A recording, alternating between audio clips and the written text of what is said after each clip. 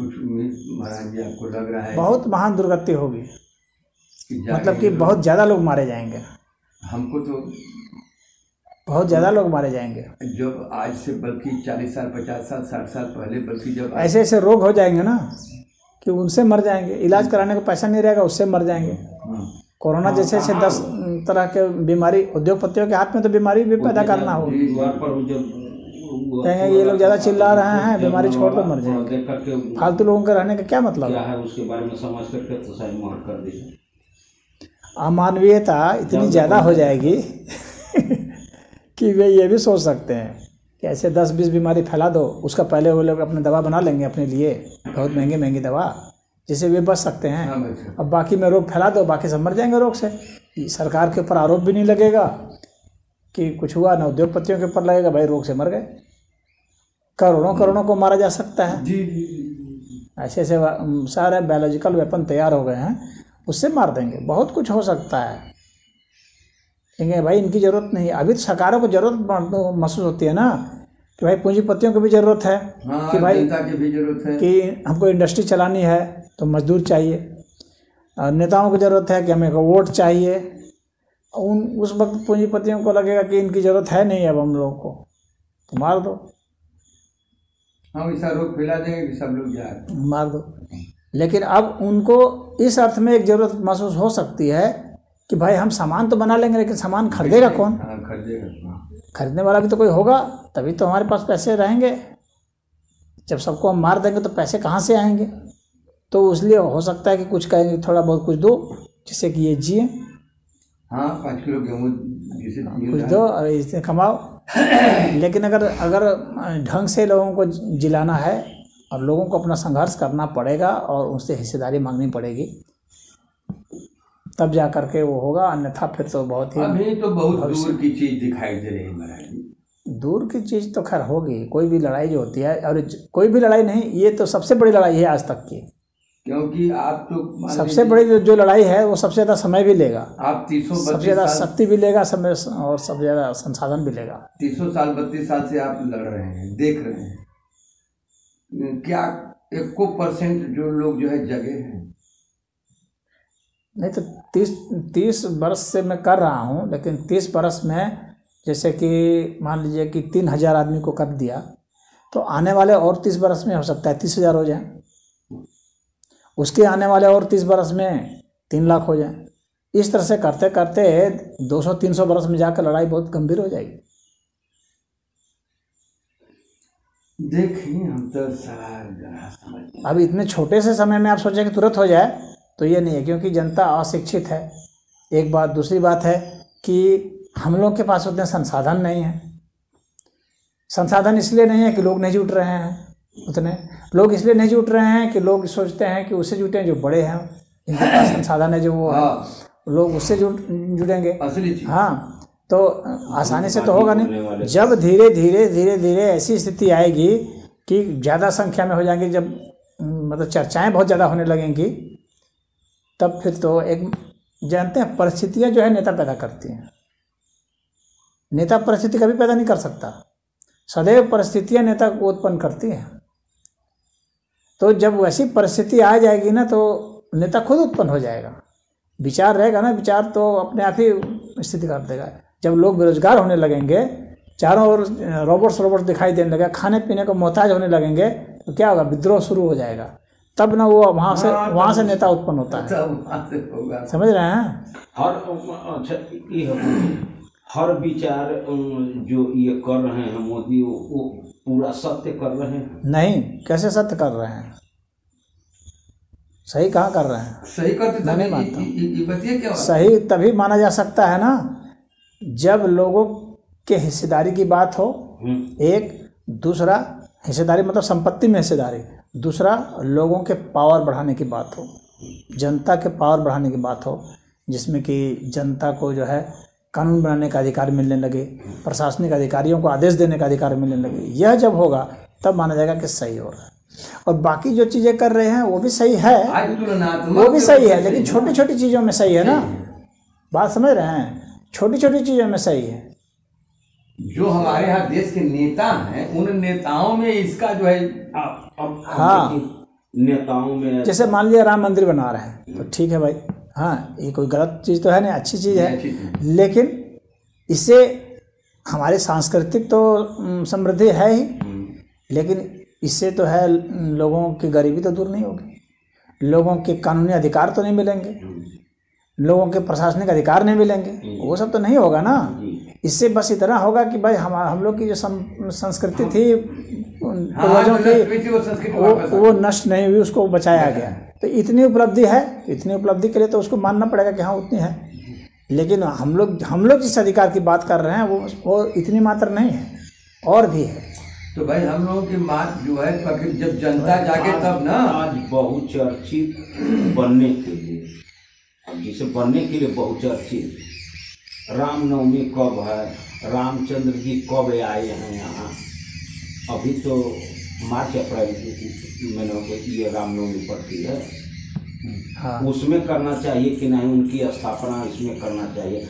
आज वो कर रहे थे क्या है ये वोटर का माने जी वो लेकर के वर्चस्व अपना लूटने के लिए ना। ये सत्य है। तो तो कोई राम कब आए अच्छा। और क्या माने जी कि अच्छा उस बात की चर्चा आप कर रहे हैं। हम्म, कि वो मंदिर की प्राण प्रतिष्ठा की बात कर रहे हैं। की। कि प्राण प्रतिष्ठा इसमें क्यों किया जा रहा है? और थोड़ा सा उसके बारे में बताइए। और जैसे है कोई भी चीज़ का। फ़र्स्ट व्यक्ति कौन है?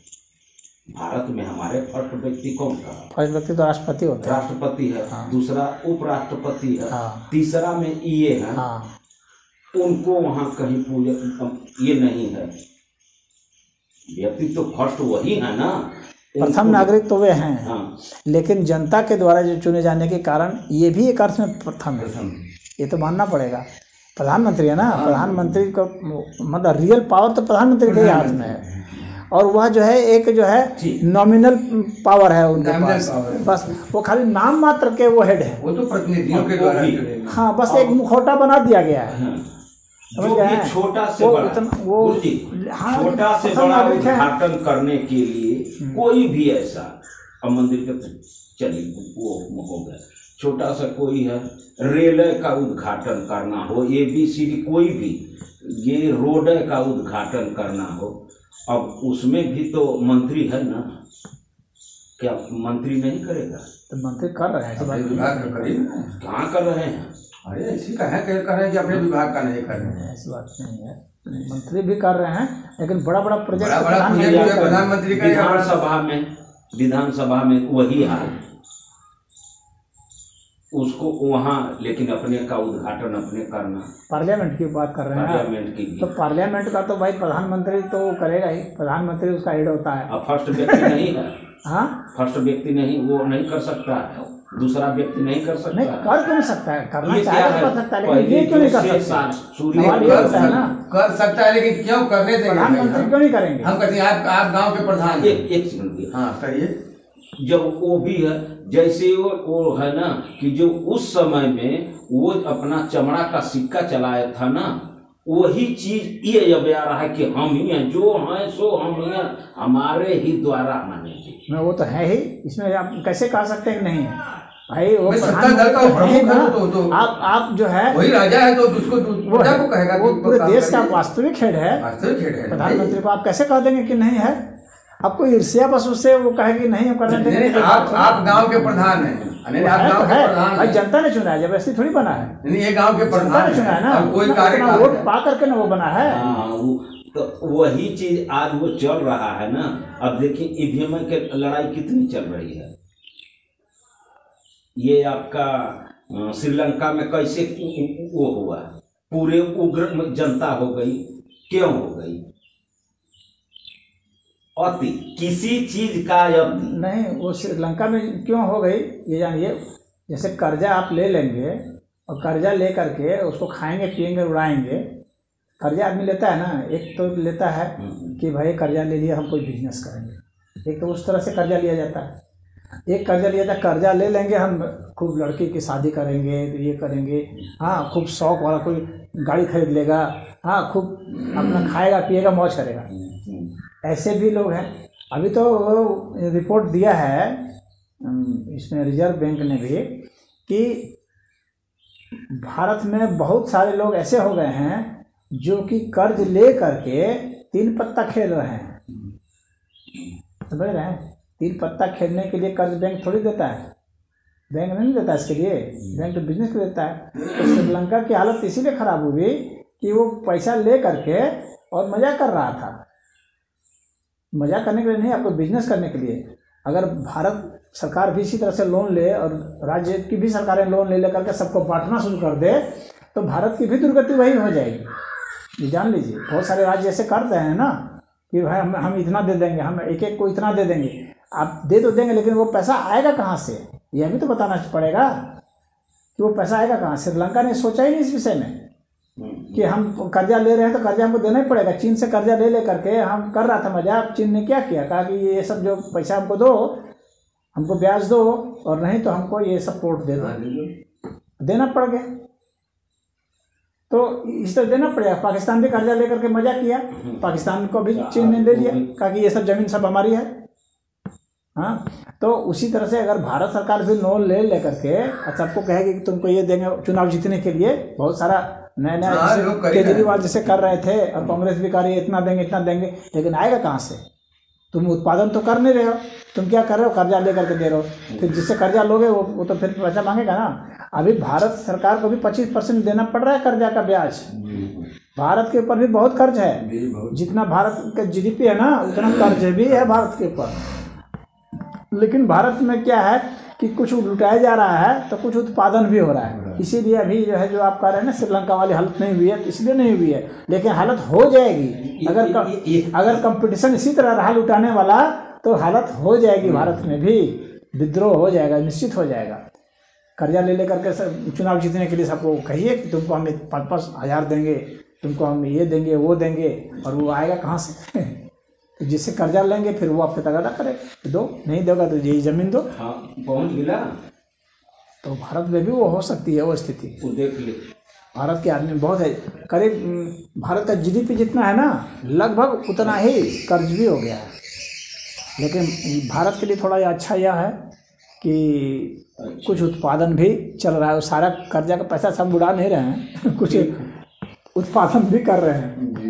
जिस दिन खाली कर्जा में लगा देंगे उस दिन तो भारत की महान दुर्गति हो जाएगी लुटाने में लग लगा देंगे।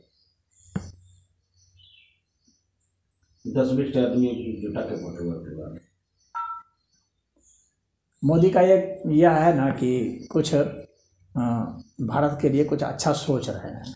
जितना अपने दायरे में सोच सकते हैं और कर सकते हैं उतना बड़ा बहुत बड़ा बड़ा अधिकार तो नहीं दे पा रहे हैं लेकिन छोटी छोटी चीज़ें जो हैं जिससे कि लोगों को अपने मन मुताबिक किया जा सके उस काम को कर रहे हैं। कोई युगांतरकारी परिवर्तन नहीं होगा इससे।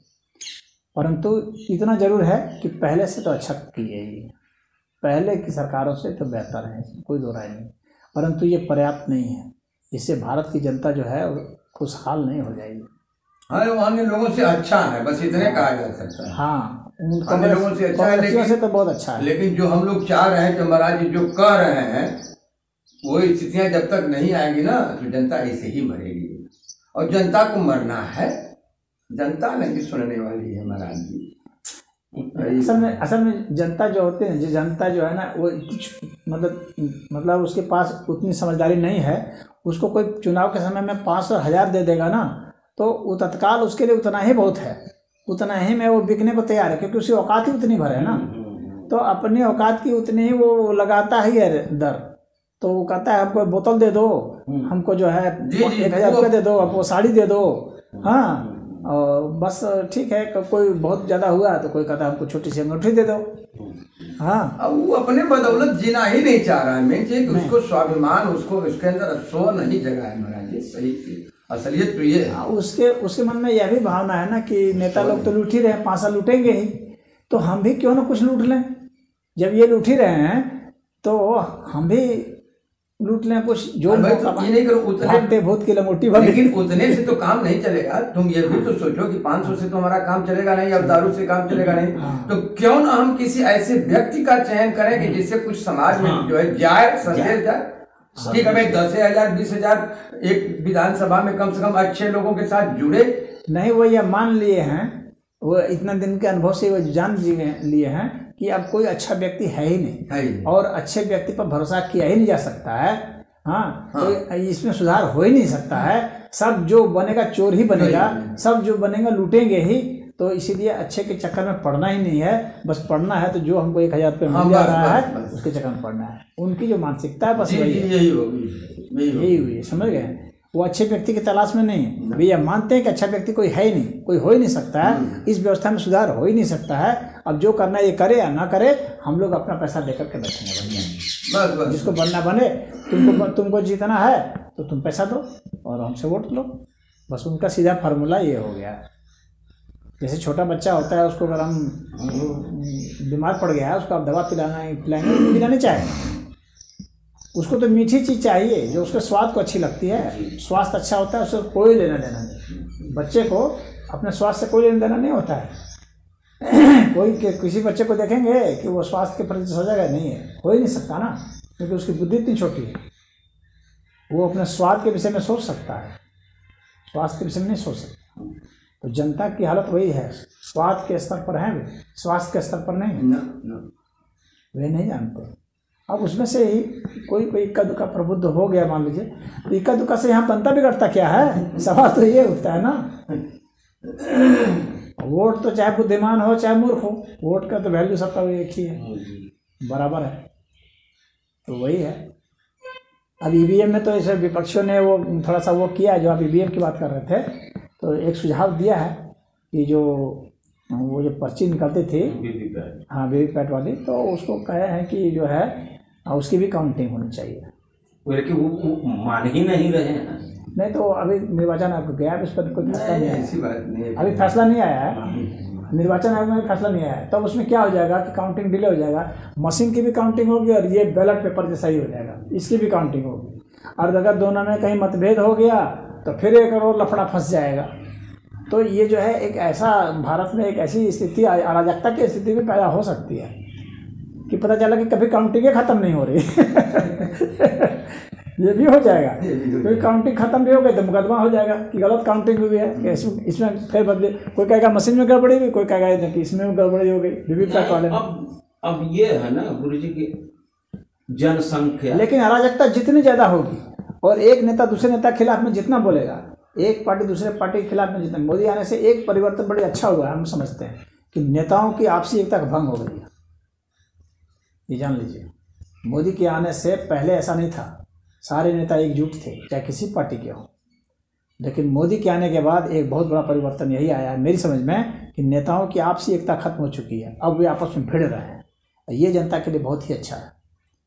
वे जितना भिड़ेंगे भीड़ भीड़ रहे हैं। हाँ, वे लेकिन भाग रहे हैं डर के मारे कि हम चले उनके ही दल में। नहीं तो हमारा ईडी और ये जो लगे हैं ना ये इससे हम बचे। हाँ तो जे वही तो भिड़ रहे हैं ना यही ना भिड़ना हुआ कि उसके ऊपर जो है वो हाँ। जान बिठा रहा है। हाँ। यानी खतरा उसको कर रहा है। हाँ, उसको डरा तो दिया है तो इसका मतलब है आपस में इसीलिए गाली। गलौज भी हो रही है। हम्म। वो उसको गरिया रहा है उसको गरिया रहा है। समझ रहे हैं ना? वो उसके ऊपर जान बिठा रहा है वो भी कह रहा है कि हम तुम्हारे ऊपर जान बिठाएँगे आएँगे तो। समझ रहे हैं? तो दोनों एक दूसरे की करनी के ऊपर जो है लगाम इस तरह से लगाएँगे और जनता को सब पता चलेगा। तो ये एक अच्छा संदेश हुआ है कि नेता आपस में भिड़ रहे हैं। अब इसके बाद सेकंड जो इसका फ़ेज़ आएगा ना, वो है कि नेता वर्सेस जनता। जनता भिड़ेगी नेता से। वही फ़ेज़ होगा ना जो कहते हैं ना कि वो सुनने को, वो स्थिति हम लोग की होगी। अभी नेता नेता भिड़ रहे हैं ना, अब नेता जनता से भिड़ेगी। जनता नेता से भिड़ेगी कि हमको ये ये अधिकार चाहिए। जो अधिकार हमें आज से बाबा साहब अंबेडकर के ज़माने में जो अधिकार मिला, उतने से हम लोग संतुष्ट नहीं हैं। उस अधिकार में बढ़ोतरी होनी चाहिए। हम लोग का भी विकास होना चाहिए। ये नाली खड़ंजे वाला विकास से काम नहीं चलने वाला है। हम लोग के अधिकार का विकास हम लोग के कानूनी अधिकार का विकास होना चाहिए। कानून बनाने का अधिकार हम लोग को भी मिलना चाहिए।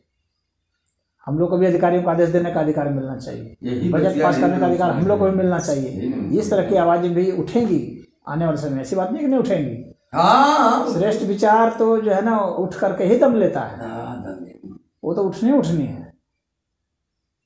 लेकिन उसके पहला वाला स्टेज लेकिन हो गया है मोदी के आने पर, कि नेता नेता भिड़ गए हैं। अब इनके बीच कभी समझौता नहीं होने वाला, जान लीजिए। ये भिड़ंत जारी रहेगी।